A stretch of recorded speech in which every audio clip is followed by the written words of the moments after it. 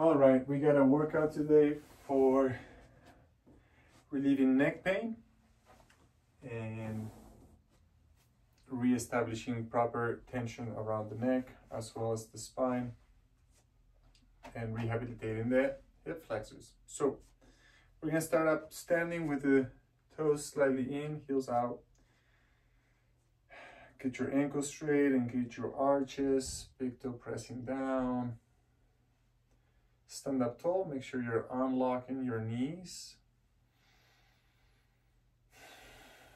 Big breaths. If you want, you can do thumbs at the base of the ribs, pinky at the top of the hips with the shoulders retracting back, elbows wide. So it should look like standing up tall. Let's send the hips back. Make sure you're not hyperextending. So if you need to tuck a little bit, go for it, but don't over tuck here. Keep the lower back slightly arch and then check your shoulders and check your head. Chin is gonna press down to lengthen the back of the neck. The head is gonna retract. Chin in, head retract. Chin in, head retract. Hips back, ankle straight, big toe down, chin down, back of the neck long, and then come up to stand. Okay. From this tall position, let's turn the head to the right. See how far you can go. Back to center. And then turn to the left. Checking the range of motion. Shoulders back, hips slightly back. Head to the right.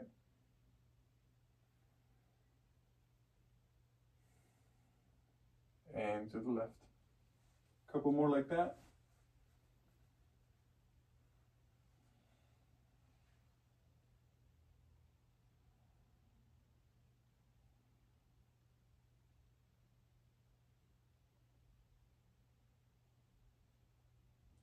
And then come back to neutral with the head. Let's go left ear to the left shoulder. Right ear to the right shoulder. Without rotating the head, just side flexion. Hips slightly back. If you need, check the knees, check the ankles.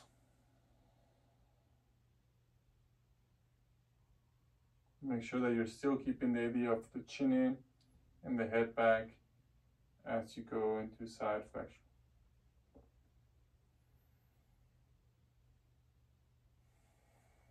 One more time on each side.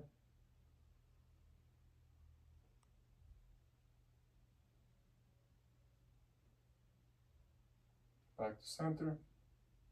Shake that off. All right, we're going to simply roll the shoulders back, making circles with the shoulders. Making sure both shoulders are hiking up to the same level. but both shoulders are going far back, down, and forward.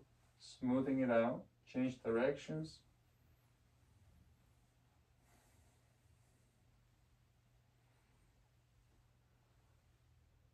And one more time, changing directions. Back to neutral. Circles with the head. Inhale, roll the head back. Exhale, roll the head forward. Check your toes, check your heels, check your ankles, check your knees.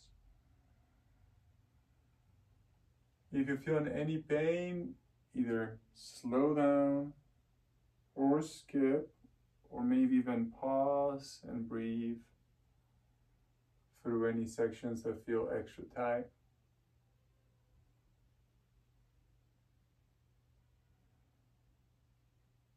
Change directions, inhale back, exhale forward. Inhale back, exhale forward.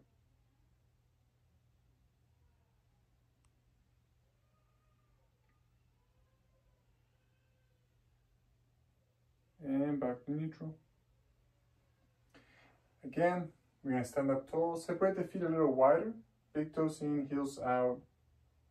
Engage that inner arch. straighten the ankles, stand up tall, find the right arch on the low back, shoulders back, elbows wide, chin down, send the hips back. And then from this position here on the hinge, rotate the head to the side with the chin down, with the head retracted.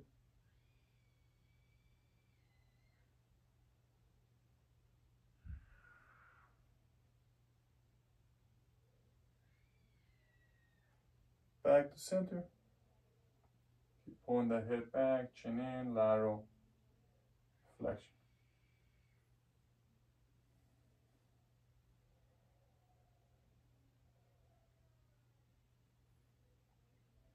Back to center.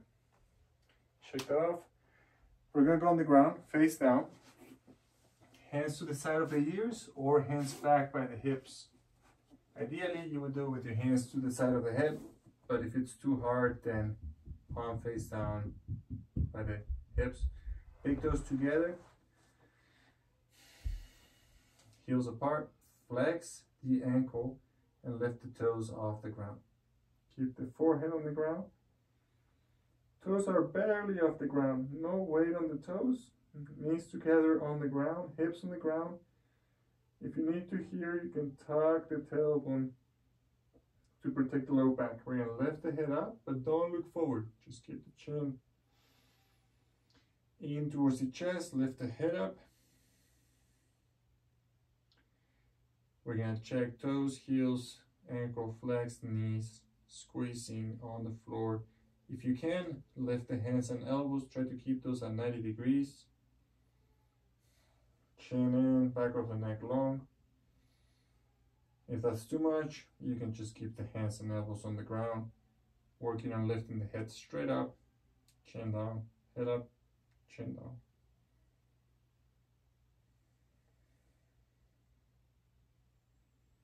You can try rotations in this position. If it's too much, skip it.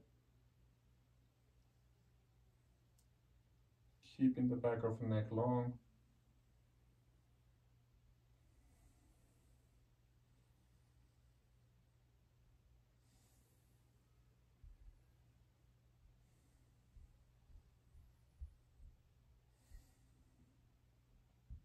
Back to center, side flexion again, ear to the shoulder.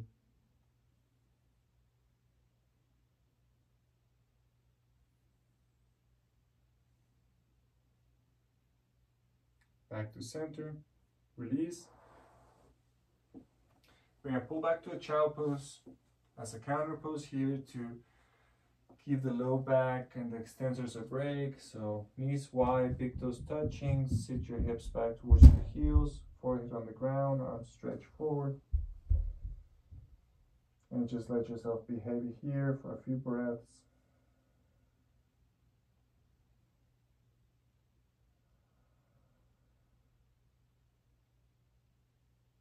And then let's go on our backs, face up. Same idea here, big toes together, heels apart, knees fairly bent. The farther you are with your heels, the harder it will be. More bend is easier. So about 90 degrees at the knees is good to start. Big toes together, heels apart, flex the ankles. And first thing gonna do is check the tucking and tilts here. Tuck means hip flexor, abdominals. Tilt means low back muscles, right? So we're gonna do a few times alternating. Make sure you're not using your mid and thoracic extensors here, that you keep it on the low back. then once you're tucked, then we're gonna check neck and shoulders. The shoulders are gonna wanna hike up to the ceiling and to the ears here. So we actually wanna press them to the mat and to our hips. Hands to the side. Work the chin in. If you're working the hip flexors and challenging the hip flexors here, you're gonna try to take some weight off your heels as you tuck and press the spine down. Obviously doing your best to keep the shoulders down, to keep the chin in, the back of the neck long. If you're working more with the neck, then maybe you let the heels be heavier and you focus on lifting the head just barely off the ground, an eighth of an inch or so. Tucking the chin. The more you can keep everything in integrity, the better. If you need to take a pause, reset, breathe. You could try to do both, heel and head at the same time. As long as you're tucking hard, that's good. And then the other option would be to make it real, real easy here with the heels fully on the floor. And then just turning the head side to side with the head barely touching the ground. Keeping the head on the floor is too hard, you can always just lift a little bit. This will be easier because the muscles are shorter, but if you want to lengthen the muscles, challenge them a little bit more, then you can let the head be heavier.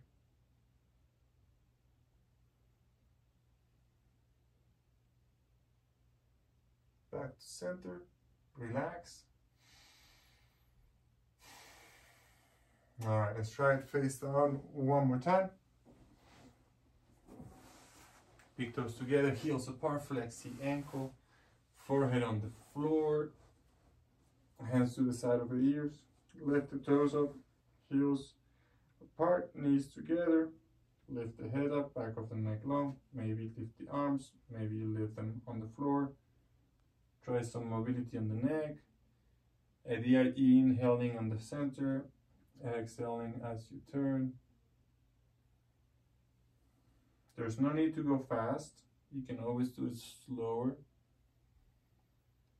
Just do your best to focus on the cues. Avoid any pain. If you feel pain, look for the cue, the adjustment that creates space.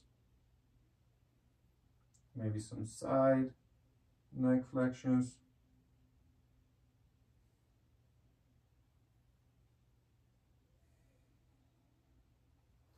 And child pose.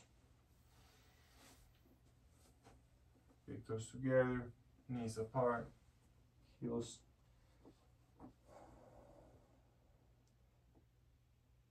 And just breathe here, breathe into your low back. Hmm.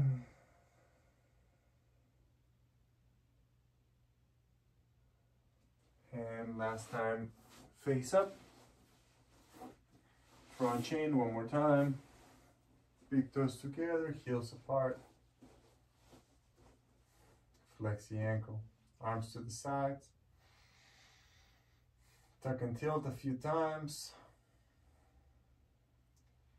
Developing that neuromuscular connection and then keeping that tuck strong. Hip flexors, chin in, strong front neck flexors, maybe the heels lifting, weight off the legs, maybe the head lifting, weight off the neck and the head. If you need to lift the head higher to get the mobility, that's fine. If you rather work a little longer, that's great. Option to rotate. If it doesn't feel good, skip it.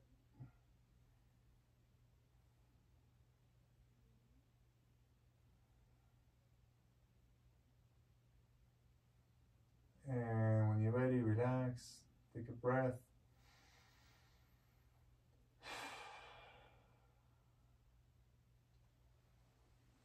All right. Good job.